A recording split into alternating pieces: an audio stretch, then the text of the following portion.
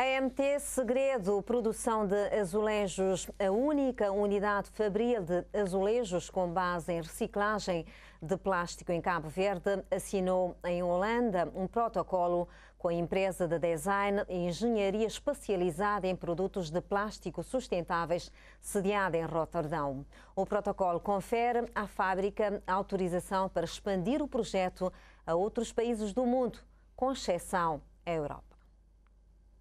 A Better Future Factory é uma equipa que combina engenharia, design e imaginação para dar vida a ideias sustentáveis, tendo o plástico como matéria-prima primordial.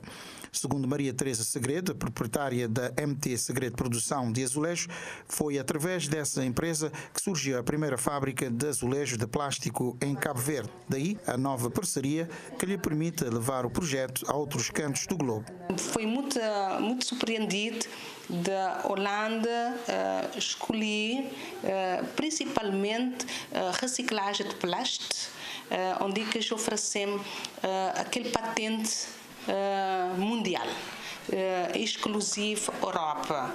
Ele é um grande emocionado, emocionado próprio emocionado desse grande, desse grande escolha, onde que tem uma grande responsabilidade no futuro e também de ser um, que Cabo Verde tem muito a ganhar. O projeto poderá chegar a países da África como Angola, Guiné-Bissau, Senegal, conforme adianta Maria Teresa Segredo. No continente africano já tem alguns anos é que está um, que tem interesse desse grande projeto, onde que já não te decidi, eh, onde que não te chegar um acordo, mas nos técnicos de, de, de, de, Santo Antão, de Santo Antão, uh, para levar esta tecnologia ao mundo. Já tem alguns países na África, por exemplo, identificados? Uh, sim, uh, tinha muito pedidos, né? Por uh, me sempre me dizes que mim está poder, uh, mim está poder decidir, que mim está decidir é só Cabo Verde, tinha patente até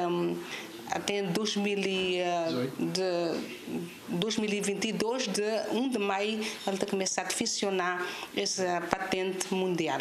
Era Maria Teresa Segredo falando de um protocolo assinado com a Better Future Factory, uma empresa de design e engenharia holandesa especializada em produtos de plástico sustentável, visando a implementação do projeto de produção de azulejo em plástico em outros países do mundo, com exceção da Europa.